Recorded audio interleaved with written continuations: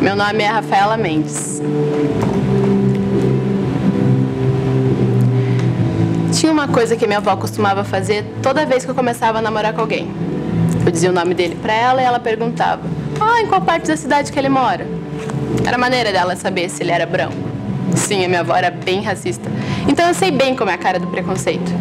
Então essa conversa não é sobre experiência, meu caro. É sobre gênero.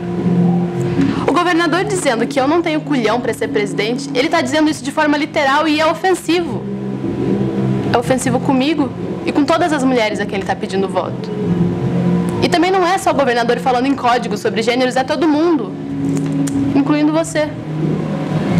A única razão pela qual a gente está fazendo essa entrevista na minha casa foi porque você solicitou.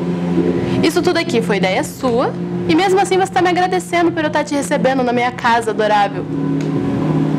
Isso é o que você diz para sua vizinha que te preparou biscoito de chocolate. Essa jarra de chá gelado, por exemplo, não é minha. Foi seu produtor que colocou aqui e mesmo assim você me chama de Cinderela da vida real. Por quê? Isso relembra as pessoas de que eu sou uma mulher sem usar essa palavra. Eu sei que para você isso aqui é só uma abordagem, eu entendo isso. E eu também sei que você considera isso aqui tudo inofensivo, mas não é.